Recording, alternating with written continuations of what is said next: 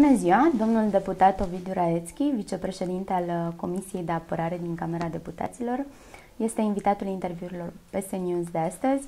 Bună ziua și bine ați revenit în studioul nostru. Bună ziua, mulțumesc pentru invitație. Ne întâlnim astăzi într-un moment de maximă agitație pe scena politică românească, spun eu. Asistăm la un conflict din ce în ce mai apăsat între președintele Claus Iohannis și premierul Viorica Dăncilă. Am văzut că aseară, într-o conferință de presă, domnul Iohannis a adus din nou în discuție demisia doamnei Dăncilă. Cum s-a ajuns în această situație?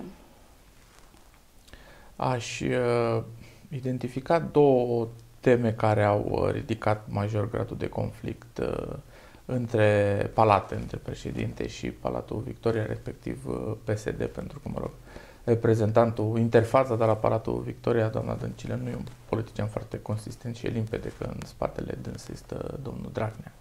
Uh, în primul rând uh, a fost uh, încălcarea flagrantă a drepturilor și atribuțiilor președintelui într-o problemă de politică externă, în problema privind ambasada României la Ierusalim. În al doilea rând a fost agravarea situației economice, problema băncii naționale, problema Uh, Robor, care și dimineața vedeam că a mai făcut un salt uh, semnificativ, refuzul PSD de a accepta o mediere uh, care intră în atribuțiile președintelui, deși președintele PSD atacase deschis Banca Națională cu câteva zile înainte.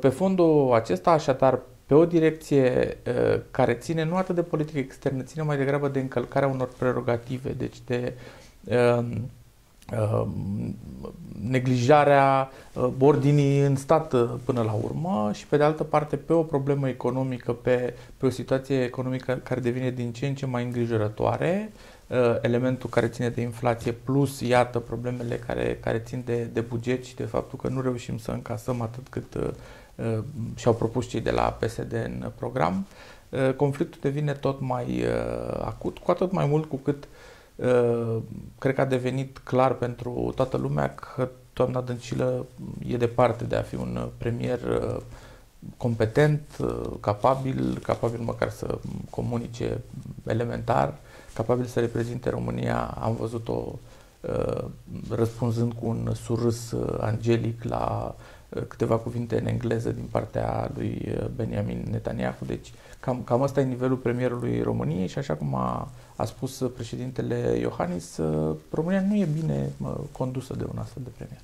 Care considerați că vor fi implicațiile acestui război?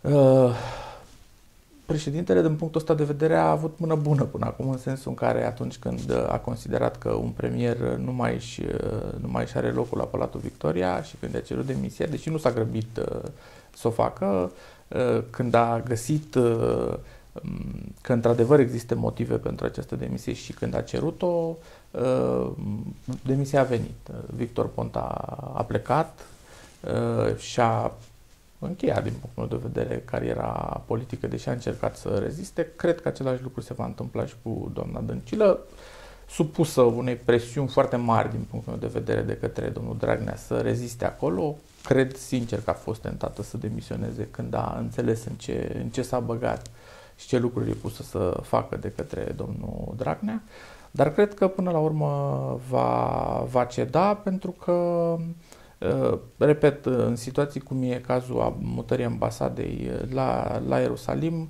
se încalcă niște legi uh, și lucrurile astea la un moment dat au consecințe, iar un om ca doamna Dăncilă cred că va, va sta departe de astfel de lucruri. Ar fi deja al treilea premier care ar fi schimbat Cine ar mai putea să vină acum la guvern? Uh, eu cred că dacă PSD uh, ajunge în situația de, a, de a-și pierde și acest premier, e limpede că președintele va, va opta pentru un mandat încredințat uh, opoziției și se va încerca formarea unui guvern în jurul Partidului Național Liberal, foarte probabil uh, în jurul celor de la USR, de ce înseamnă în momentul de față o opoziție uh, anti-PSD. Este pregătit PNL să preia guvernarea? Vrând nevrând trebuie să fii pregătit. Eu mi-aș fi dorit să avem gata Uh, și vorbesc acum în calitate de șef de departament pe zona de apărare, dar sigur că la noi e ceva mai, mai ușor pentru că politica de apărare e o politică strategică, națională, aici nu e loc de multă uh, invenție politică, dacă vreți, lucrurile sunt uh, fixate pe termen lung. Dar uh, în alte domenii e mai complicat. Uh, deci mi-aș fi dorit să avem gata și cred că vom avea gata tocmai pentru scenariul acesta al unei crize politice majore un program de guvernare și în momentul în care ai un program de guvernare și ai niște oameni uh, capabili să gestioneze fiecare domeniu în parte și din punctul ăsta de vedere mi se pare de, de, de salutat momentul trecerii domnului Siegfried Mureșan, uh, venirii lui alături de, de noi. Uh, cred că suntem pregătiți, da. Aminteați adineauri de episodul uh, plecării doamnei Dăncilă și a domnului Dragnea în Israel. Care credeți că a fost motivul pentru care președintele Claus Iohannis nu a fost anunțat? Așa cum, bine știm, prevede, este una din atribuțiile, politica externă este una din atribuțiile președintelui. De ce totuși uh, nu a uh, fost uh, informat măcar?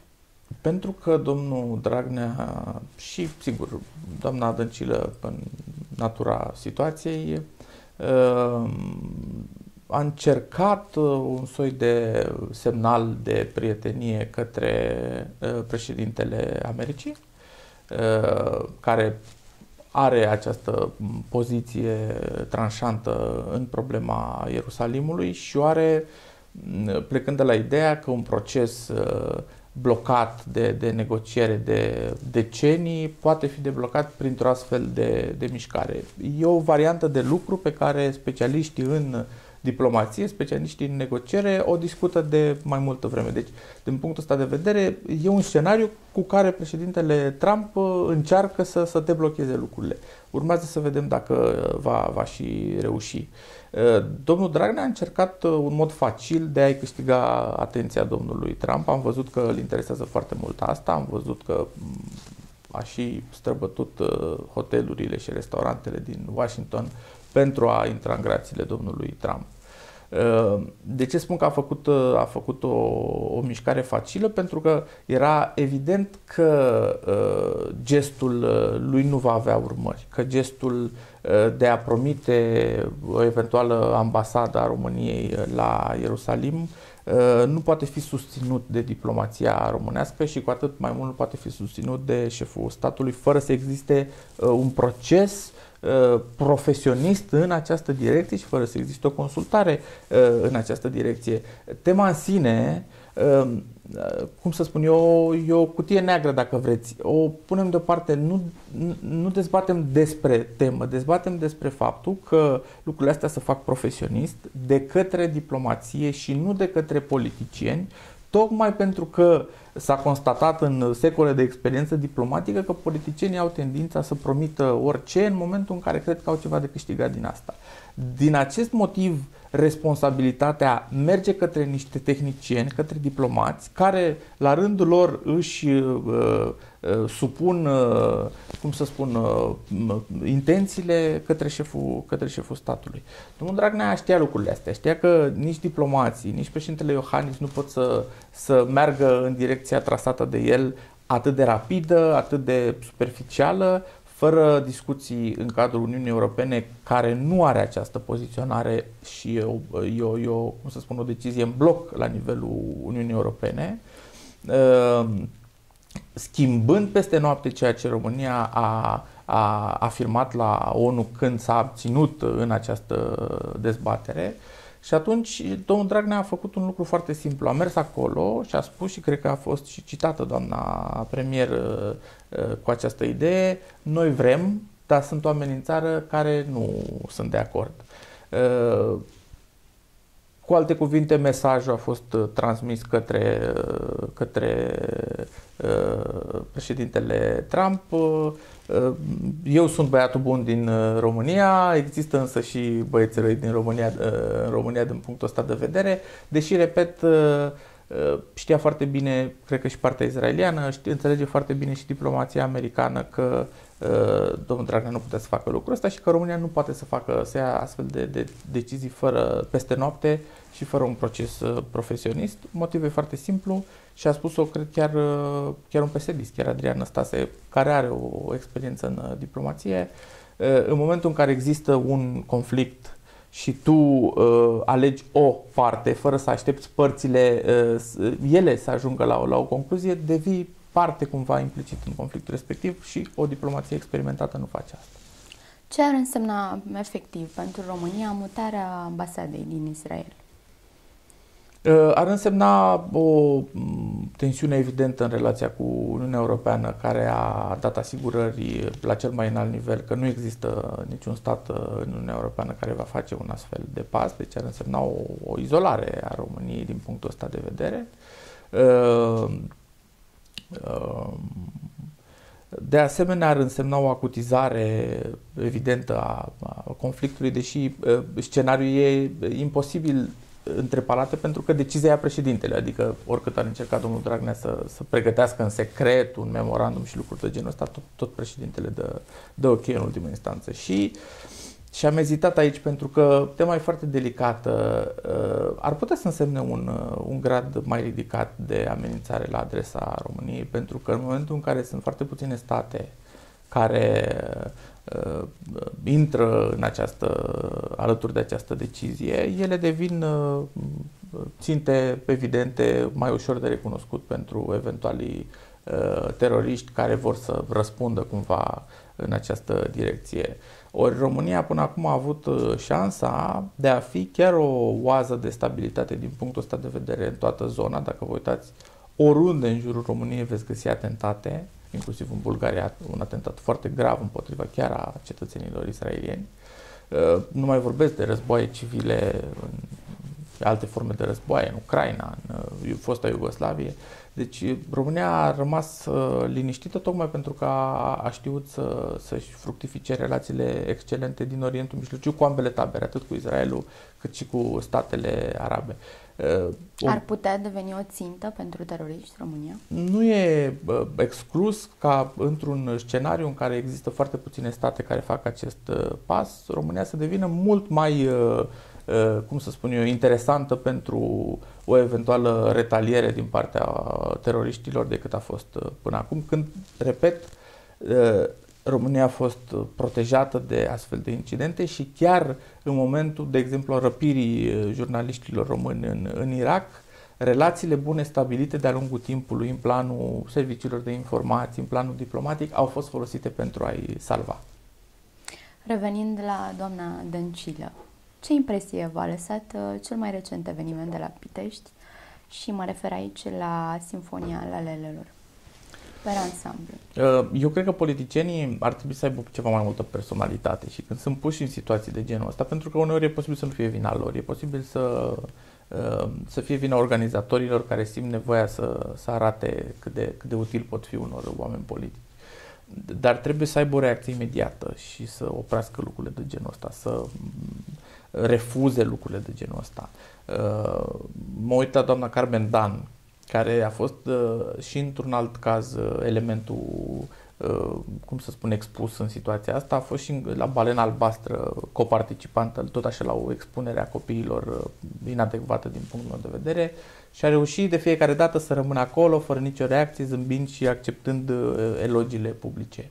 Uh, în lipsa acestei reacții a politicienilor, uh, trebuie să reacționăm noi, cred, și să fixăm foarte clar prin lege ce se poate face și ce nu se poate face uh, la evenimente publice care îi expun pe copii cu acești copii. Uh, eu am reacționat, am depus deja un proiect de lege plecând de la cele două cazuri, cazul Sinfonia Lalelelor și cazul Balena uh, Albastră din urmă cu un an din București cu doamna Firea care Uh, țineau, ținea conferințe în școli și mergea cu artiști în școli ca să le explice copiilor să nu uh, uh, joace balena albastră, deși niciun copil nu jucase, nu a existat niciun caz, a fost o anchetă de ICOT uh, care a spus clar niciun caz de sinucidere în România uh, din cauza balenei albastre. Cu toate astea, doamna Firea făcea o mega campanie, nefăcând altceva decât să popularizeze subiectul. Deci, din punctul ăsta de vedere, cred că Parlamentul trebuie să adopte rapid proiectul pe care l-am propus, tocmai pentru ca toți politicienii să știe ce e permis și ce nu-i permis și toți profesorii să știe ce e permis și ce nu-i permis. Și ceea ce am propus eu sunt, de fapt, trei idei. Prima idee, în momentul în care expui un copil uh, într-un act artistic, sportiv, cultural, da, la o manifestare publică la care participă un politician, uh, ai obligația să informezi în scris părintele despre ce va face copilul lui, respectiv, nu știu, o să uh, facă exerciții de gimnastică pentru doamna premier. Uh, iar părintele trebuie să-ți dea acordul tot în scris. În scris pentru că asta înseamnă că există dovada oricând și poate fi verificat faptul că părintele a fost informat corect despre ceea ce urmează să se întâmple. Uh, în al doilea rând, uh, nu e acceptată niciun soi de manifestare artistică, culturală, sportivă dedicată unui politician. Cu alte cuvinte, spună poezie pentru domnul ministru. Uh, și în al treilea rând, orice campanie publică din asta de informare, cum avem despre balena albastră, da? sunt o felul de campanii de, despre, de informare privind teme care țin de sexualitate, Așa, ai nevoie de un aviz uh, de la nivelul Ministerului uh, Educației prin intermediul inspectoratelor uh, județene, astfel încât să nu te trezești tu politician doar pentru că ești primar sau pentru că ești, știu eu, prefect sau pentru că ești candidat la o primărie și se întâmplă să te cunoști cu directorul, să nu mergi să le ții copiilor lecții, predici și așa, Uh, deși n-ai nicio calificare să faci asta și fără ca nimeni să nu-și asume răspunderea pentru lucrurile bune sau rele pe care tu, tu le poți spune copiilor. Deci, evenimentul în sine, uh, Sinfonia Lalelelor, uh, mie mi-a arătat că avem nevoie să trasăm prin lege niște reguli foarte, foarte clare, astfel încât copiii să nu fie expuși, uneori, cum să spun, cu propria sănătate, pentru că vorbim de o fetiță care putea să, să se lovească doar din excesul de zel al unora care voiau să-și arate respectul pentru premierul României. În ce stadiu se află acest proiect? A fost uh, depus, trebuie să intre pe, pe ordinea de zi, deci a fost depus cam în urmă cu 10 zile, cred, urmează să intre în procesul parlamentar. În calitate de vicepreședinte al Comisiei de Apărare din Camera Deputaților, ce impresie vă lasă mandatul de până acum a domnului ministru Mihai Fifor? Uh, așa cum uh, spuneam și ceva mai devreme, ce am învățat eu e că în domeniul apărării lucrurile nu sunt atât de politice uh, cum sunt în, nu știu, zona economică, să spunem, sau în zona dezbaterilor pe tema justiției, în sensul în care uh, și aici președintele uh, prin CSAT este jucătorul cheie în, în sistemul românesc.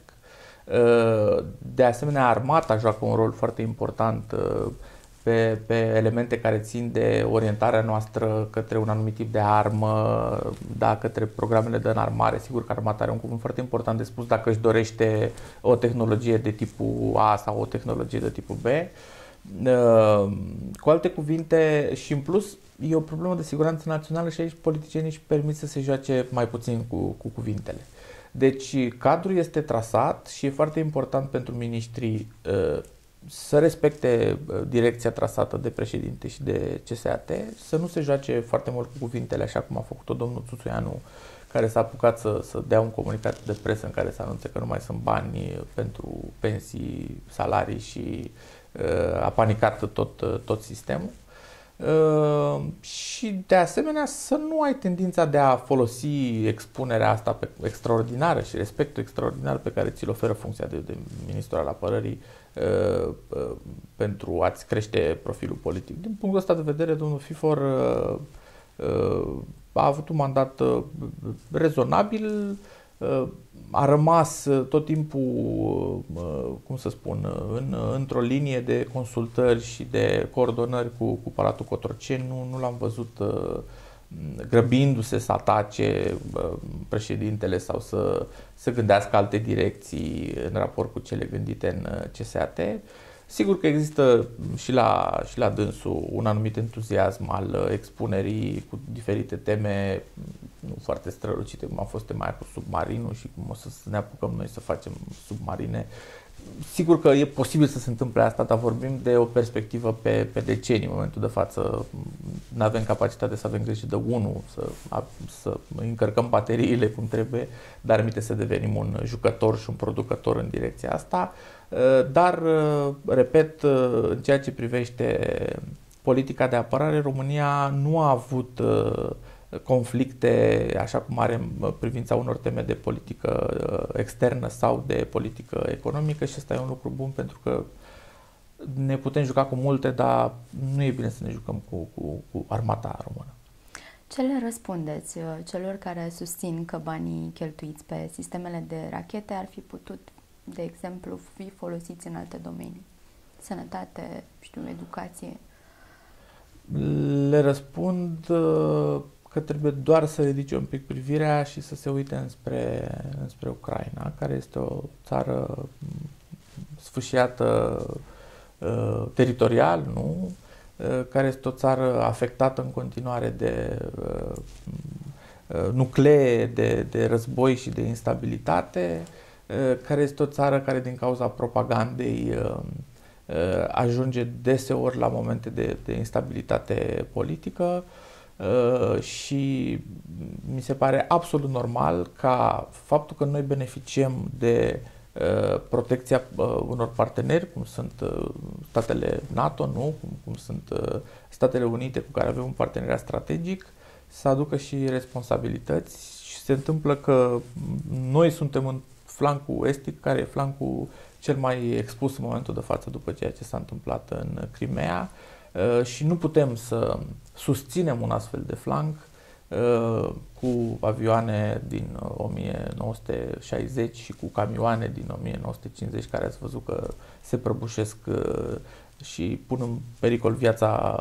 militarilor. Deci e clar că ai nevoie de tehnologie modernă minimală, măcar cât să, cât să aduci tu, cum să spun, să aduci o mică contribuție alături de, de parteneri și din punctul ăsta de vedere trebuie să ne uităm la ce se întâmplă în jur ca să înțelegem dacă România face ceva uh, ieșit din comun și o să vedem că exact asta se întâmplă și în Polonia, de exemplu, care e o țară uh, la fel de expusă ca România pe, pe acest flanc. Aceeași preocupare există și în statele baltice care sunt la fel expuse uh, tot în, în, în zona acțiunei uh, uh rusești. Uh, se întâmplă să traversăm o perioadă mai agitată a, a istoriei, se întâmplă să traversăm o perioadă mai agitată uh, în toată zona. Dacă ne uităm și la evoluțiile din Turcia, dacă ne uităm cu atât mai mult la ce se întâmplă imediat sub Turcia, adică în, în Siria, la tensiunile care sunt uh, în tot Orientul Mijlociu, la situația din Iran, o să ne dăm seama că Europa în ansamblu și mai ales statele mai apropiate de Rusia și de Orientul Mijlociu traversează o perioadă în care cheltuielile militare sunt importante tocmai pentru a putea uh, să ne bucurăm în liniște și de sănătate și de cultură și de toate celelalte lucruri pe care ți le oferă pacea. Sunteți uh, membru în cel mai mare partid de opoziție din România. Cum arată PNL acum și cum arăta, spre exemplu, acum un an de zile înainte de congres? Ce s-a schimbat atunci?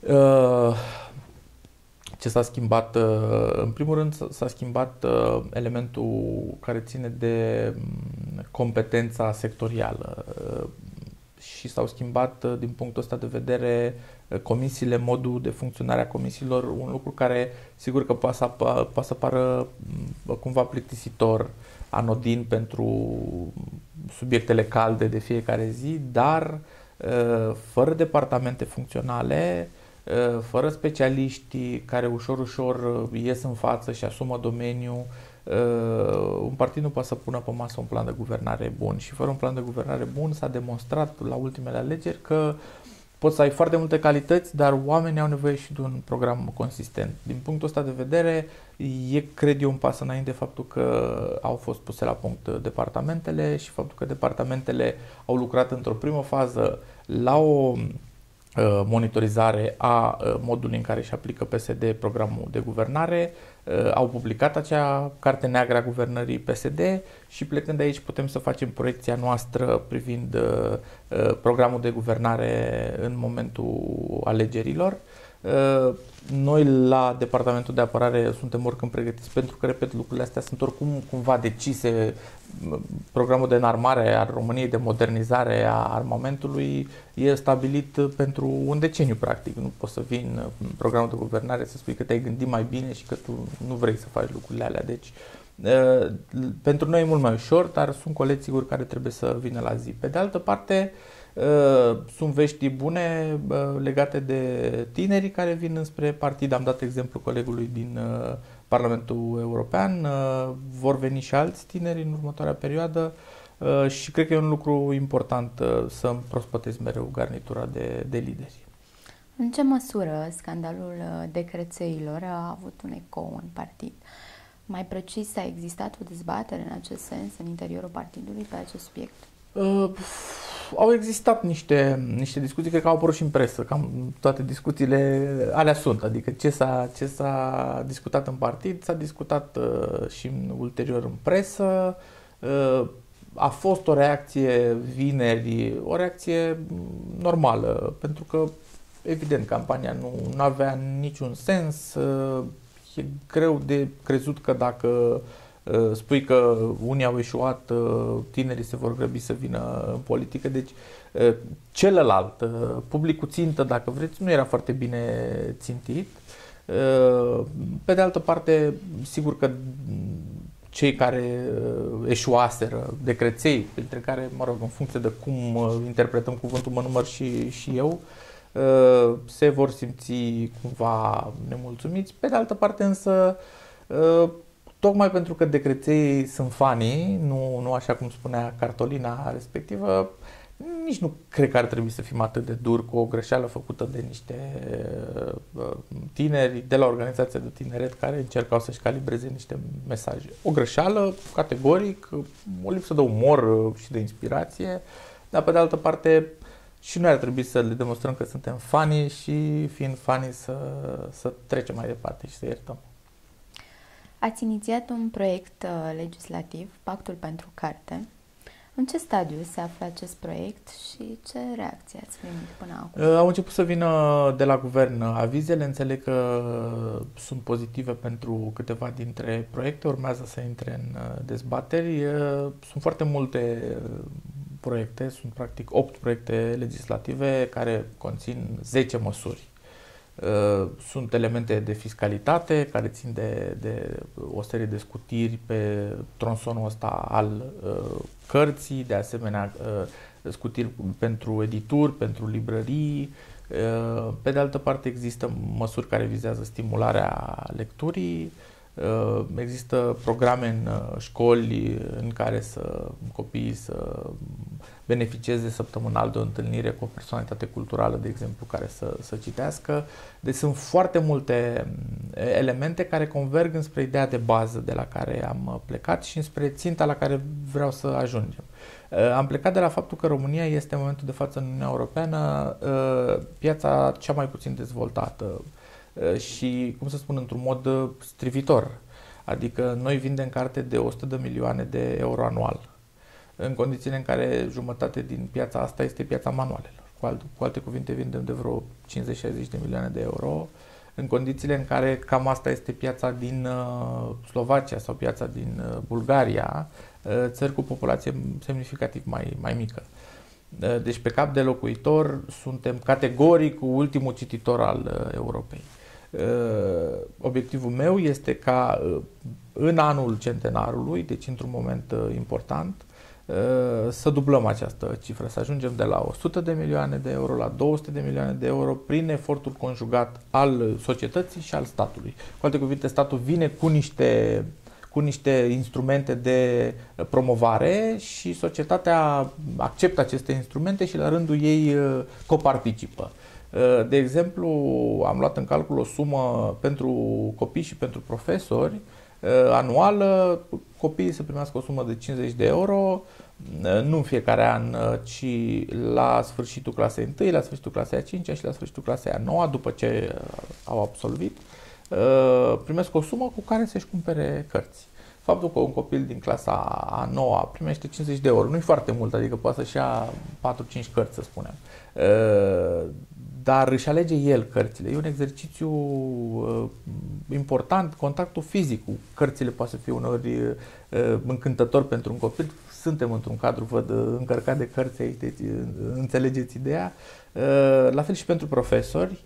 Uh, am gândit o sumă de 100 de euro uh, anual pentru profesori. A existat această măsură, s-a aplicat, uh, uh, cred că guvernul Tăricianu a, a asumat-o, dar a fost uh, ulterior uh, tăiată de pe fondul tăierilor domnului Băsescu prin 2010 uh, și știu atât de la profesori cât și de la editori că a ajutat foarte mult piața de carte. Piața de carte a crescut cu vreo 50% cu acea măsură, ceea ce înseamnă că profesorii chiar foloseau suma respectivă pentru cărți, chiar cumpărau cărți, lucru care a ajutat pe ei să, să se dezvolte și la rândul lor i-a ajutat pe copii, pentru că au beneficiat de lecții mai, mai bune, mai dinamice, de la profesori mai, mai educați. Cu alte cuvinte, eu sper că dacă PSD-ul a înțeles apelul meu, pentru că ei vor decide prin numărul mare de voturi pe care le au în Parlament, dacă PSD-ul se opune, e mai greu să treacă. Dar uh, apelul meu a fost către toată clasa politică, pentru că am propus un pact uh, național, așa cum a fost pactul pentru apărare,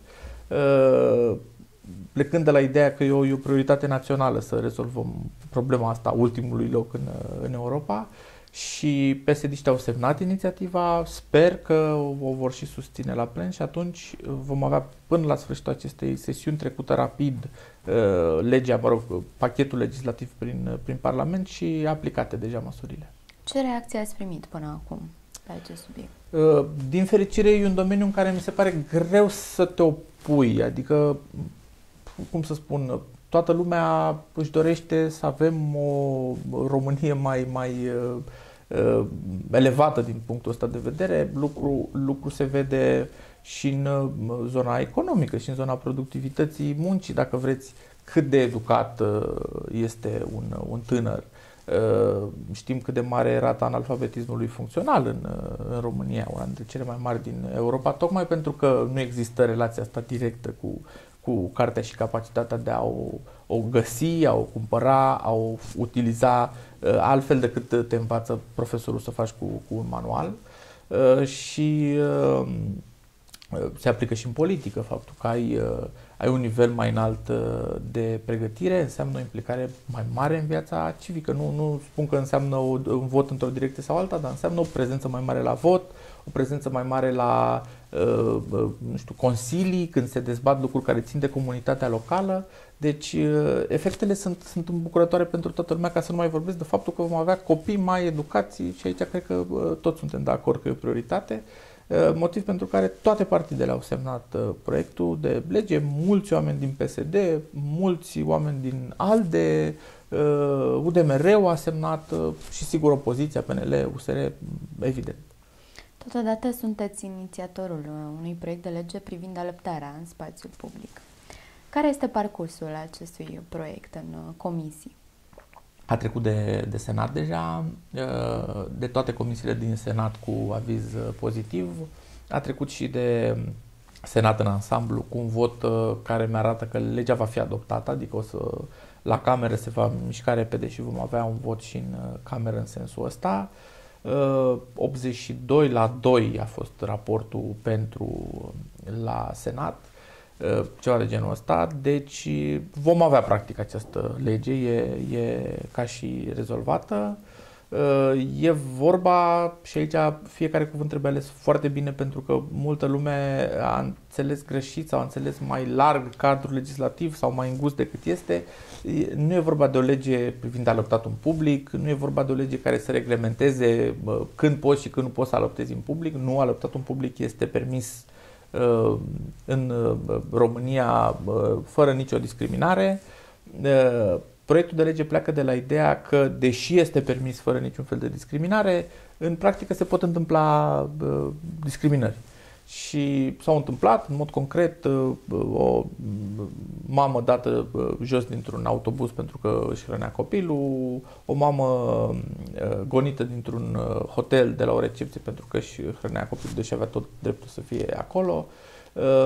Pe baza acestor cazuri am decis să, să introducem un proiect legislativ care să spună clar că în momentul în care împiedici o mamă cu un copil mai mic de 2 ani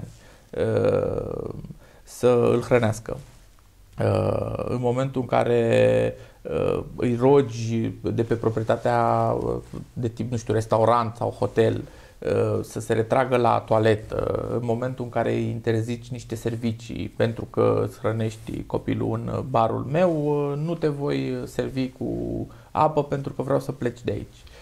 Și așa mai departe, în toate aceste situații se consideră că e vorba de o discriminare, se consideră că a fost lezat de dreptul micuțului la, la hrană, pentru un copil de câteva luni, de câteva zile, de câteva săptămâni e o urgență, adică el nu are alternativă la laptele respectiv, el nu are posibilitatea să mai aștepte o oră, două, cum, cum putem noi să facem, el e într-un pericol imediat aproape dacă îi refuz hrana pentru o perioadă mai, mai lungă, deshidratare e imediată la un, la un sugar uh, și atunci se consideră discriminare Eh, situația este constatată fie de către protecția consumatorului pentru cazurile care se petrec într-un restaurant, într-un hotel, fie de un uh, polițist și se uh, aplică o, o amendă.